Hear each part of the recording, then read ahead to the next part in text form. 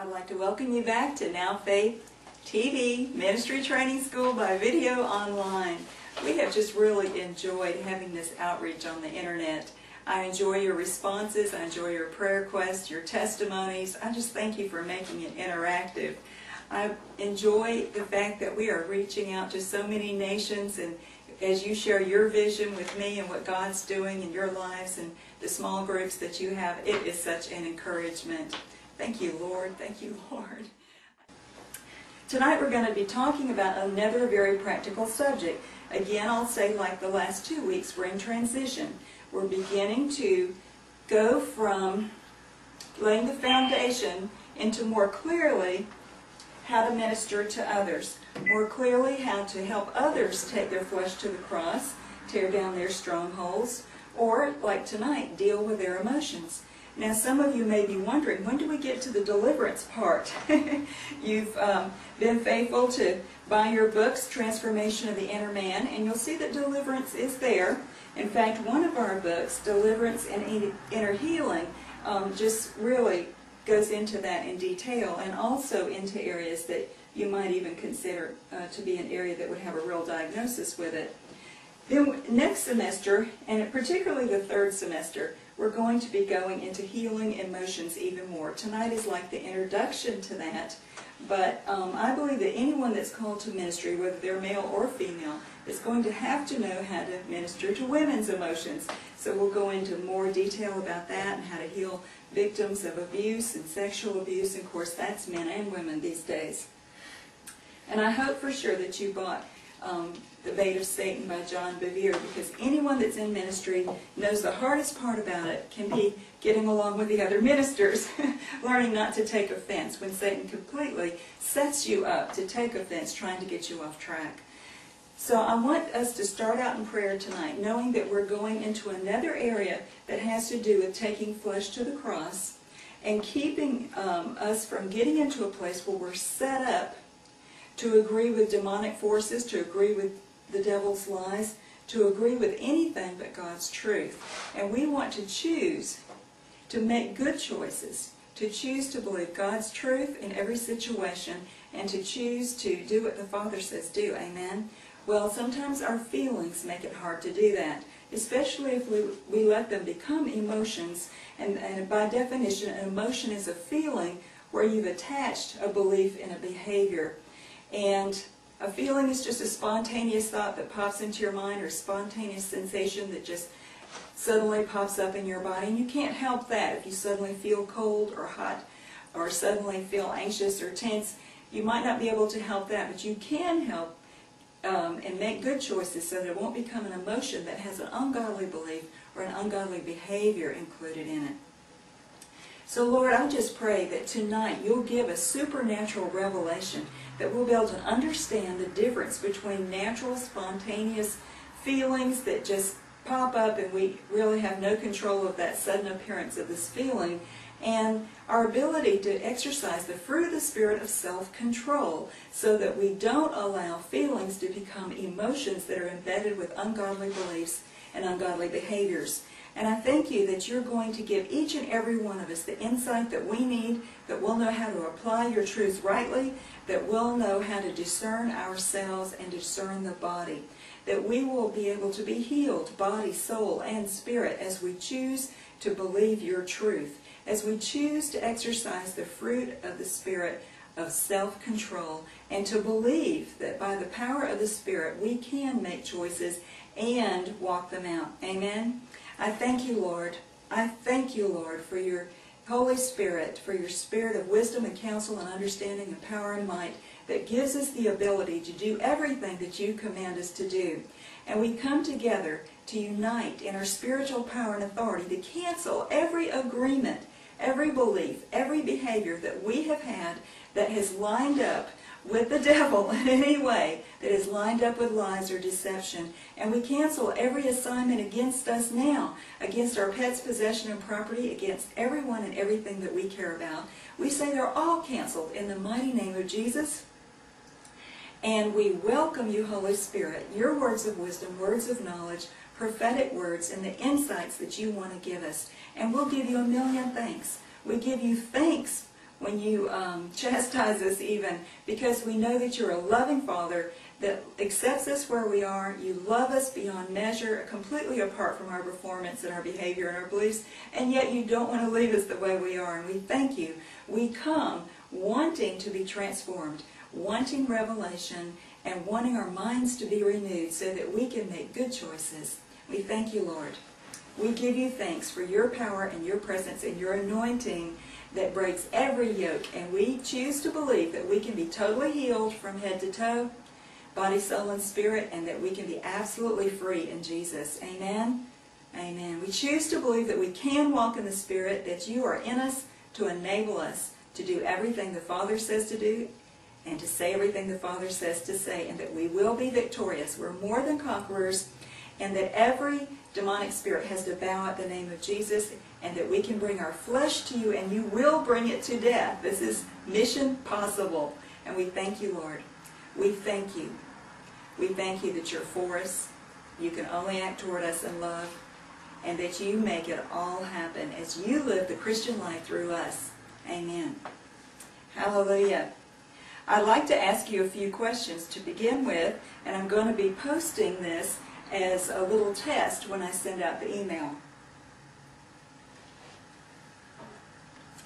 So just relax, take a deep breath, you're going to have a test. I'd like to ask you how you would handle, how you would advise someone if they came to you for ministry. Just picture yourself, you're in a little side room there after church, and they've asked you for ministry because they can't seem to handle their emotions. They don't know what to do with them. And I wonder what you believe. Where are you going to be coming from when this happens? For instance, would you be the one that would say, well, just stuff it for now, put on a happy face, knowing that if you don't express it, it will soon go away? Or would you tell them to confess that they're fine or okay until the confession feels like it's actually the truth? Would you advise them to act it out with violence against inanimate objects like pillows or in order to weaken the negative emotions? Would you say what others want to hear or tell them to do what others want them to do, protecting their emotions, other people's emotions first? Would you advise them to make a quick decision that would take the pressure off before anyone finds out what they're really feeling? Or would you advise them to just forget it, leaving the former things behind? That sounds spiritual, doesn't it? Jesus demonstrated how to handle emotions when he went into the Garden of Gethsemane, and I'm going to talk about that tonight and share with you five steps that he demonstrated that would be a good pattern for us he's definitely qualified to give us the pattern. And usually, though, when we're hurt, we don't follow the pattern that Jesus followed in the Garden, Garden of Gethsemane. When we get hurt, it's just as natural as it can be for us to blame other people and to judge them. Amen? Or, okay, well, let me give you an example. Say you're walking through a meadow. Charlie shared this with us at the um, at the school, at the Elijah House School, I thought it was a good example. Say you're walking through a meadow, it's like a perfect meadow, it's the most beautiful spring day that you ever saw. You're feeling so good, you're just skipping along, and suddenly you hit, you kick a brick so hard in just the wrong way that it completely takes the toenail off your big toe. Blood spurts out, and you are screaming with pain. What would you do next? well, scream would be the first thing, yes. But what would you do next? What would you do with those feelings? What would you feel? Would you um, blame yourself and call yourself stupid? Would you get mad at God for allowing you to kick the only brick in the whole field? Would you curse at the brick? That makes a lot of sense, doesn't it? what would you do? Well, in the meantime, I hope you're holding pressure on your toe, because that's the nurse in me. but usually when we're hurt, we blame or judge or get mad at something. Some people are so into anger that they really don't even recognize the wide variety of emotions that they feel. Everything comes out as anger, but that's not really all they're feeling. pain, the pain that you're feeling, in this case is physical pain, and it's an indicator that needs something needs to be done. But anytime that we're feeling a strong feeling like that, whether it's emotional or physical or mental, when you're feeling a strong feeling, it's an indicator that something needs to be adjusted. Well, obviously. But pain is actually a good thing. Without pain, we often wouldn't know that we were sick, that we need medical attention. We wouldn't know that maybe we need to set boundaries because people are trying to manipulate us and control us. Without pain, we might not know that what we're doing is wrong or that we're exposing ourselves to something harmful.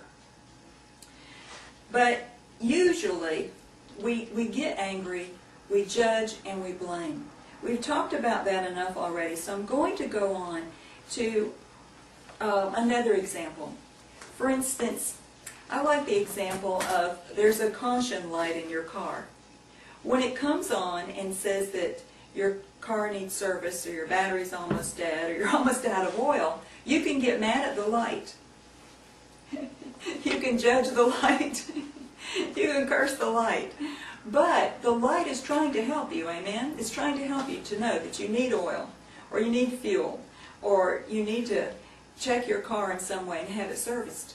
And so that light, like pain, is trying to help us to know that adjustment needs to be made. And so feelings that feel bad aren't, quote, bad. They're helping us to know that an adjustment needs to be made. Now, sometimes the feeling might feel like sin. Some of you are afraid that your feelings are so bad that they might even send you to hell. If you let me define what a feeling is, versus what an emotion is, I believe I can convince you that your feelings will not send you to hell. So you can, you can rest at ease. A feeling often is just a physiological response. It's something in your body. Like the first second that you're even feeling lust, it's a physiological response. Your body responds to something or someone that's attractive. But it doesn't mean that you have sinned yet. A feeling is something that can come out of the autonomic nervous system, that you feel hot, you feel cold, you feel panic. But it doesn't mean that you've sinned yet. It's a spontaneous thing, a feeling. But we can't control that. We can't control if we suddenly feel tense, or we suddenly feel anxious, or we suddenly feel hard or cold, or we suddenly feel lust. But we can choose what we let become an emotion. Let me define that. An emotion is a feeling that we tie then to an ungodly or a godly belief, or we tie it to an attitude or a behavior that's either godly or ungodly. You know, the old saying that they say, a bird can fly over your head, but you don't have to let it make a nest in your hair.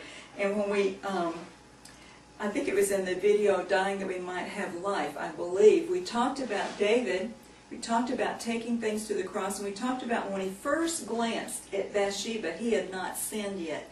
But sin, when it conceives, when, when we're drawn away by lust, when we're enticed by it, and then we choose an ungodly behavior, then we're choosing an emotion that will be sinful because we're choosing a belief, like in his case, that he has a right to summon Bathsheba, another man's wife, to himself, and he has the right to act sinfully. So can you control your feelings? A lot of them you can't. You can't. They're just bodily responses. But that's in the first few seconds. Then as you allow time to be added to that feeling, as you allow a God, ungodly belief or you allow an ungodly behavior to be added to it, then it can become an emotion that actually involves sin. You might be thinking, well, I'm only human. And yes, all humans have spontaneous feelings. All humans will be tempted to lust after things. That's normal. Sexuality is good. Thinking or feeling sexual is good in the right context. We were created to be sexual. However, for instance, consider, well, let's consider the pattern that Jesus set. He is on his way to Gethsemane. I personally believe that he did not know every detail of what the next day or even that night held. He didn't know that he would be uh, not only put on trial, but six trials, that it would be like kangaroo court, that would be held after hours, that it would all be done in the dark, um, without proper announcement, without proper people in attendance. He didn't know, I don't believe, exactly how he would die, but I believe he was beginning to get a sense from the Father that it was going to be really, really rough. He knew the people that he was dealing with. He knew the modes of, of punishment in, in that day, and he knew about crucifixion, and I think he had a lot of questions on his mind, enough that it says that he called his friends, his closest friends, to go with him apart to a private place to pray. So what he did was instead of just sharing his emotions or his feelings with everyone, he chose select trusted friends. He asked them to come away to a private place to pray. This is an excellent model when you're overwhelmed with your feelings. He shared what was in his heart, and he shared that he wanted them to stay awake with him, you know, to go with him and to pray. Now, they weren't able to do that, but he asked for what he wanted. He took a risk of sharing in front of them his deepest emotions that he had ever felt in his life. He was up against um, what he, what his feelings and emotions wanted, and what he felt like the God Father was asking of him to be willing to lay down his life for us.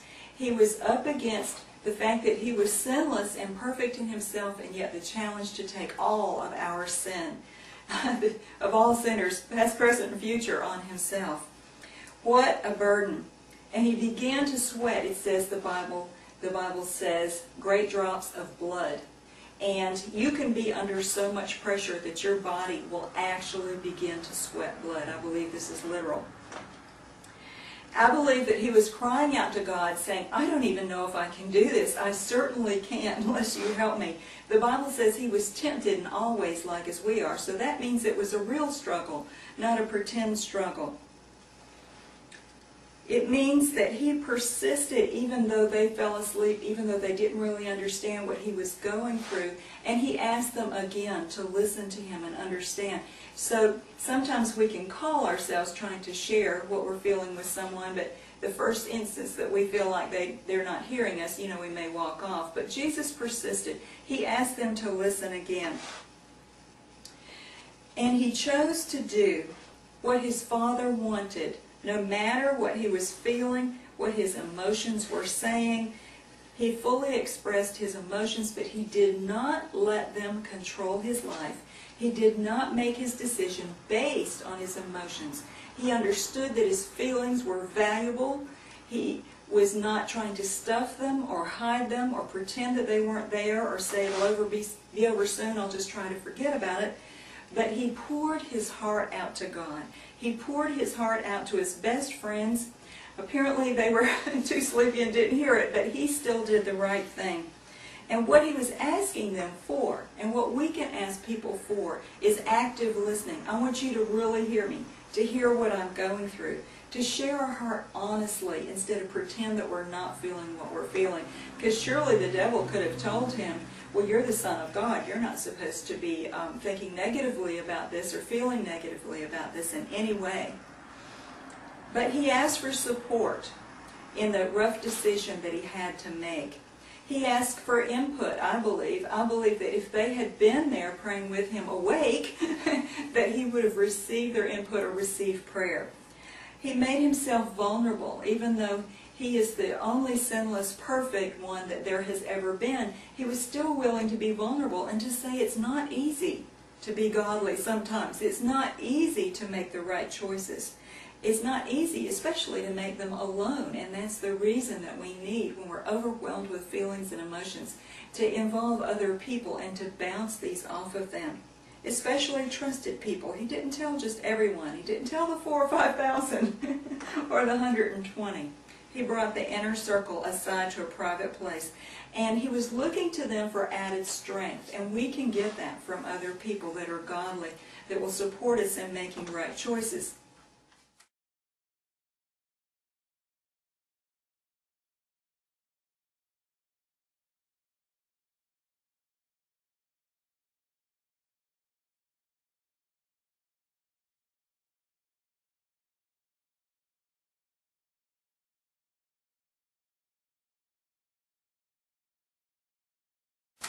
I want to um, go on to say that it's the truth. It's when we choose to believe the truth that we really get free, even if our feelings are frantic.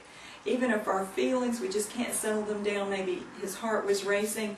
Maybe he was becoming physically weak as he wrestled with the prospect of the most cruel death known to man. But the truth will set us free. The truth will give us strength as, as we stay connected, um, one with the Holy Spirit. And when we are not honest, though, when we deceive ourselves, when we refuse to reveal to others where we really are, then confusion comes in. It makes it hard to make right choices, and it might make it hard for them to make right choices because we're not being real. We're not being honest about where we are.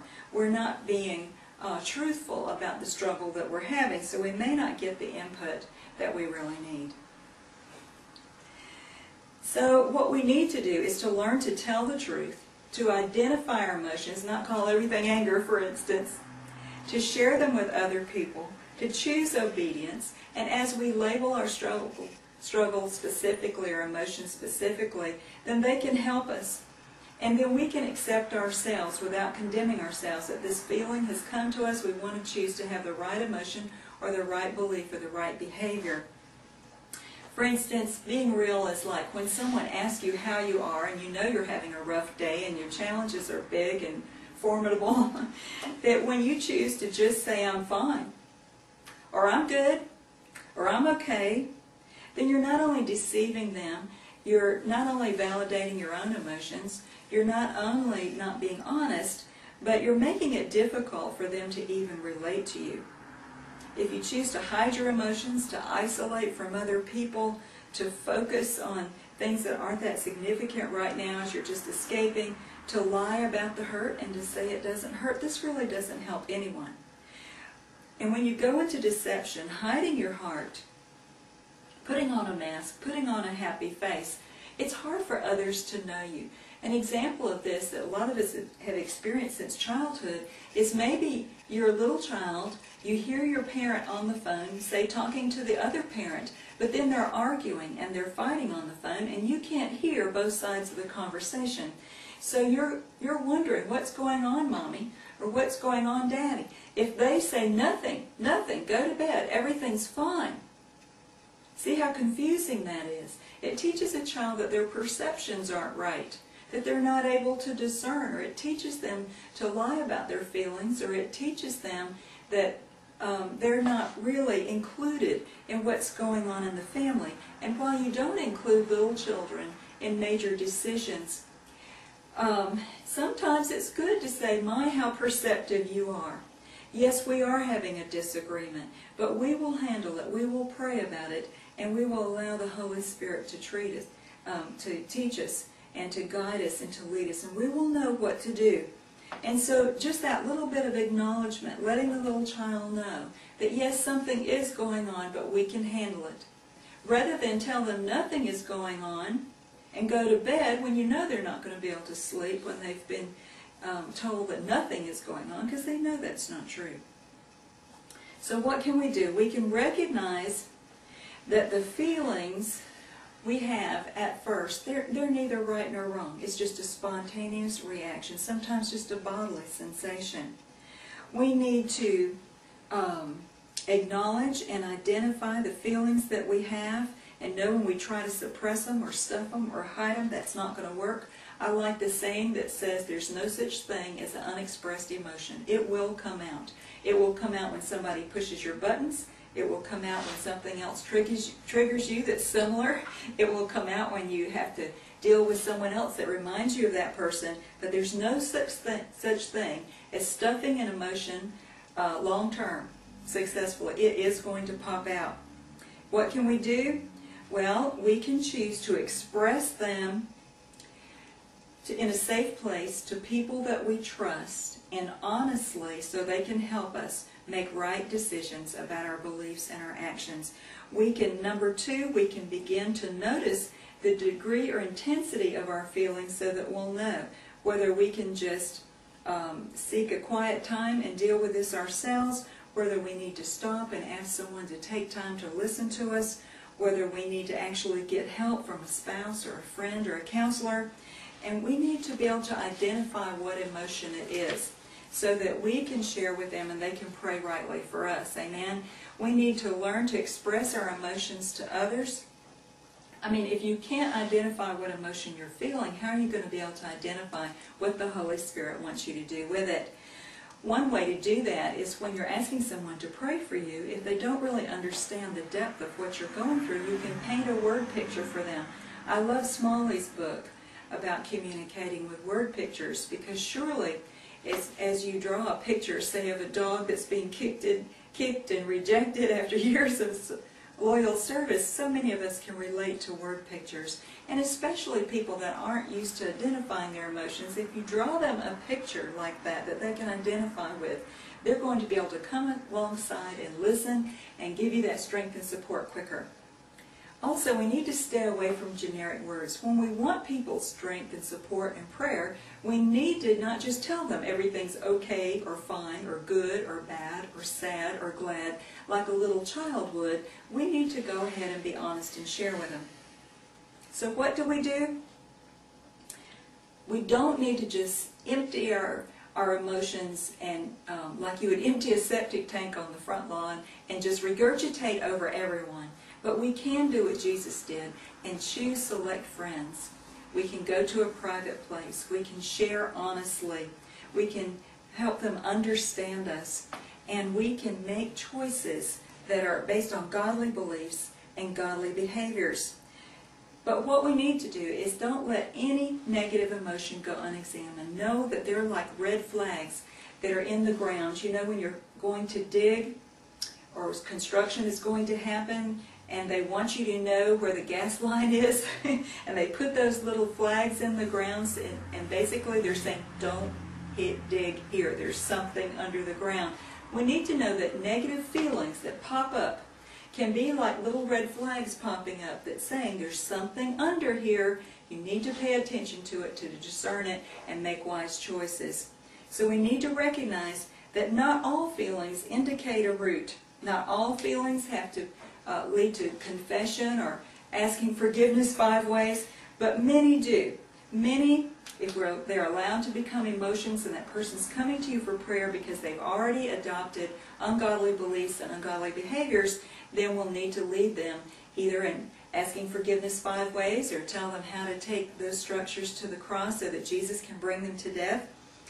Just covering them up with a positive confession does not work. Positive confessions are wonderful, but they do not take the place of confession of sin and or asking forgiveness. We need to do both. For instance, you would say I was crazy if I said after you murder someone, then you can make a positive confession that says, in Christ, I have perfect love that casts out everyone's fears.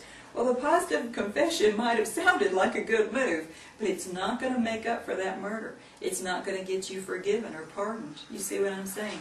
It doesn't have to be that extreme. So what do we do? We need to nip the, the um, a negative or a, sin, a, a feeling that has a potential for sin. We need to nip it in the bud.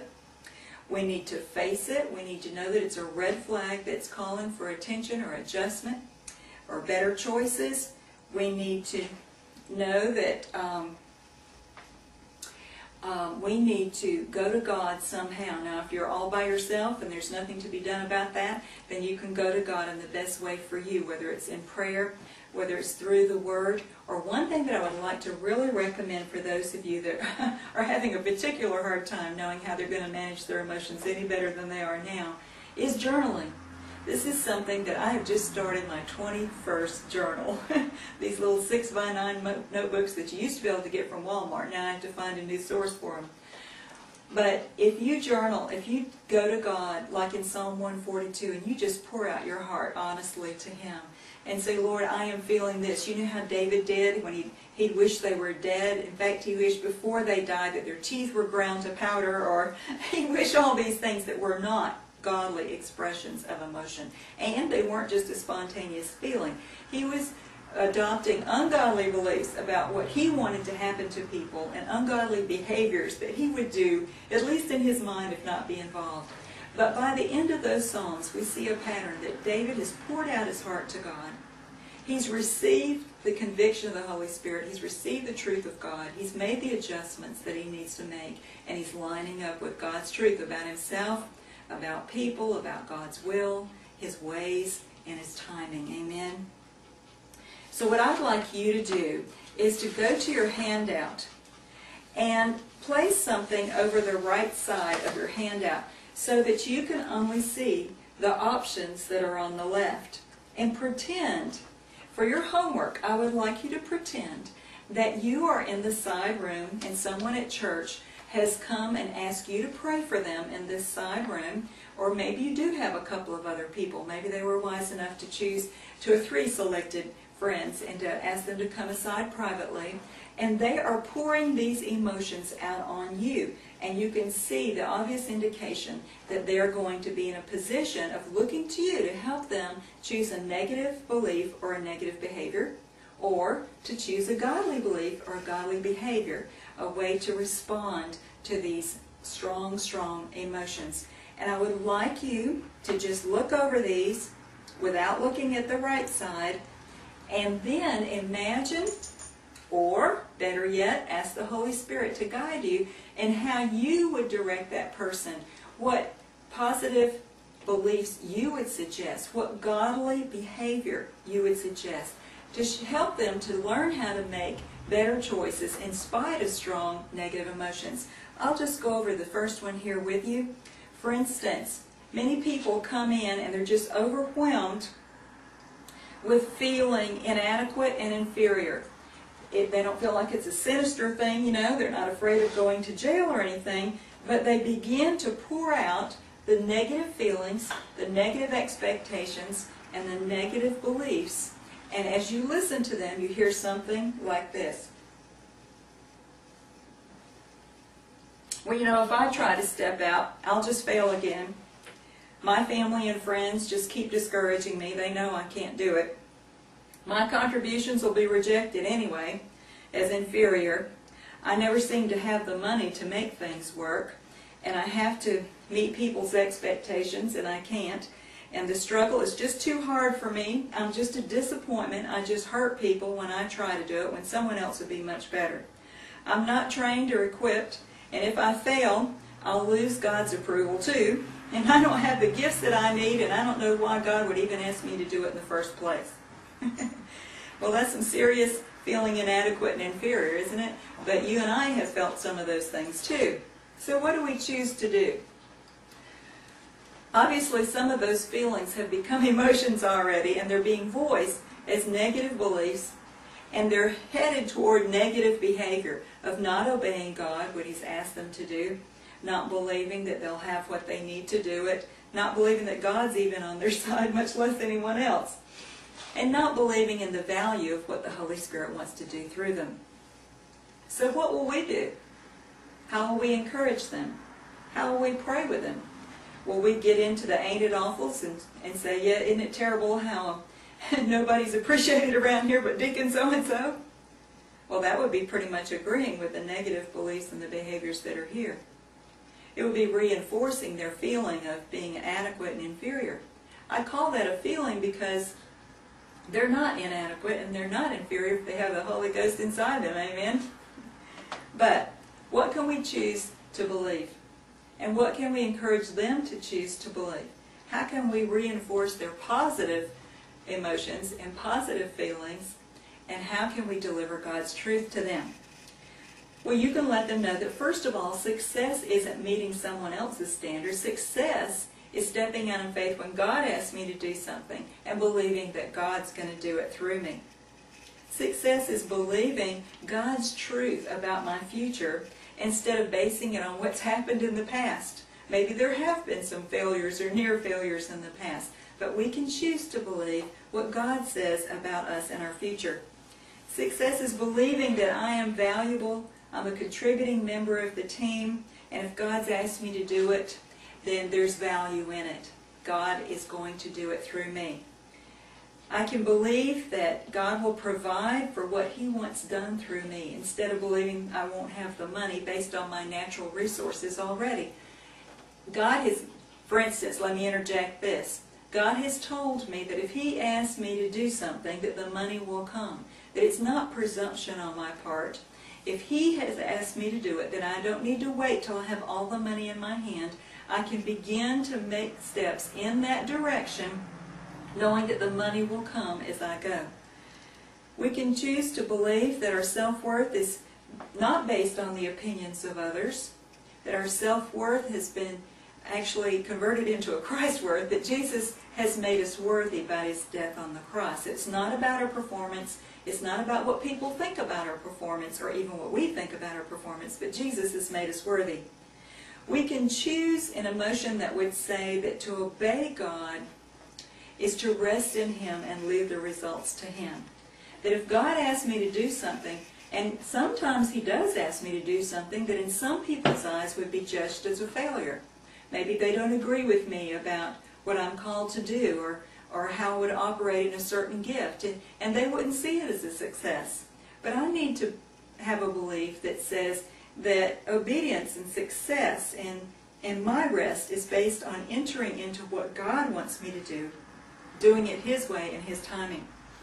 We can encourage them to believe that God will provide the training. Maybe they aren't totally equipped yet, but, but God is in the process of equipping them and training them. And He will provide the teacher or the mentor or the helpmate or the support that they need to get the job done. Maybe they need to believe that God just simply loves them and is on their side, that God is nicer than they think, and He's not going to ask them to do something and have them walk out on a limb and just leave them there or laugh but that He is in the business of stretching us and causing us to walk into a place where we will be more fulfilled as well as give Him glory. And we can help them believe that the Holy Spirit is inside them with every gift and every fruit there is. And so the, the feeling that they're inadequate and inferior is not based on truth because when you have Jesus Christ, the fullness of the Godhead, or when you have the Holy Spirit who has all the gifts and all the fruit inside you, you have everything you need. And the Bible says we have everything we need for life and godliness. So is that an example of how a person comes in loaded down with negative feelings and negative emotions, and we can begin to steer them toward godly beliefs and godly behaviors so that their emotions then are lined up with godly beliefs and godly behaviors or God's truth, and they can go forward. Now they might still have a few negative feelings. And I like what Joyce Meyer says. Anybody know what she says? Do it afraid. we don't choose to be afraid. We don't choose to agree with the spirit of fear. The Bible always calls fear a spirit. We don't choose to agree with it, but every once in a while, just a fearful feeling or anxious feeling may pop back up. So don't condemn yourself. Know that feelings are just spontaneous. You cannot keep all feelings from popping up. Don't even make it as a goal. That's a formula for failure. But you can choose what your emotions are. And by definition, your emotion is what you allow to go on. You know, like David could have said, oh my word, I'm looking at another man's wife and quit looking and gone in the house. But instead, he allowed a emotion that included lust, that included sin, that included an ungodly belief that he had the right to pull another man's wife into his own house for his own purposes.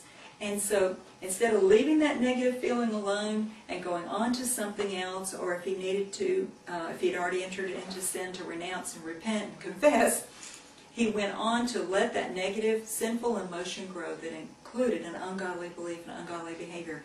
But we do have choices. We have the Holy Spirit in us, and we can choose to walk in the Spirit, and He will enable us to do it. So first of all, we won't go on guilt trips when we suddenly have what appears to be a negative feeling, but we will make choices to believe godly beliefs and godly behaviors, and to exercise and to keep confessing those so that we don't follow negative feelings. We don't allow feelings to control our choices. We need to acknowledge what our feelings are, to identify them specifically, but not make decisions, even if it appears that we need a little relief, not make decisions based on negative feelings. We need to choose godly beliefs and godly behaviors and base our emotion on truth, on freedom, on healing, on God's power. Amen. So I just want to pray for you that you will be one of those that will learn to express your feelings to others and to get that support and get that prayer. Lord, I just ask you to open our hearts to your Spirit's comfort, to the comfort that we can receive through other godly people. And we thank you for your Son, for your Holy Spirit that is there equipping us, enabling us, empowering us every step of the way. We thank you that you've experienced the full measure of every pain, every feeling, every emotion that we can possibly have.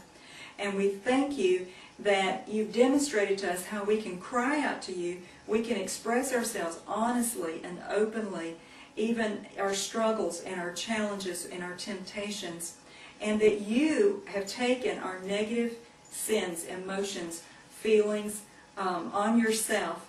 And even though we can't cast feelings out, we can't be delivered of them, that you are there to transform us, to renew our minds, and to help us to make wise choices. So we, tonight we give you our blocks, we give you our fears, we give you our walls. We give you the areas where we thought we were supposed to close ourselves off, and we let our emotions become bound, and now we're lonely. We ask you to bring to us good listeners that will help us to pray the prayer to release our emotions in a godly way. We ask you to make us a good listener that can pray for others, that can validate their feelings or emotions. We ask you to give us that openness, that we can choose to be open and not fear of being rejected, but we're willing to be ourselves so we can be accepted. And we ask you to help us to give other people permission to share their hearts freely. That we would be a model for them of how to be honest about who we are so that we can all make the right choices. How we can be free to be ourselves and to believe that you will love us and accept us, and then we will allow others to be themselves right where they are and love and accept them where they are. And we just thank you, Lord, that you really want us to be free to be ourselves and that we can only start from where we are, but you will take us from where we are into truth, into godly beliefs, and into godly behaviors. So we open our hearts to you and ask you to transform us, to renew our minds, to give us that heart of flesh like we talked about last week, that we can be genuine. We can be easy to know because we're willing to be a little vulnerable, a little bit more transparent. Sometimes it hurts, but that we can be that demonstration of your heart that is always honest, always loving, always accepting. And we thank you, Lord, that we will be the ones that people can come to when they're overwhelmed with negative feelings or negative emotions. And we thank you, Lord, for a heart of reconciliation and restoration for others. Amen.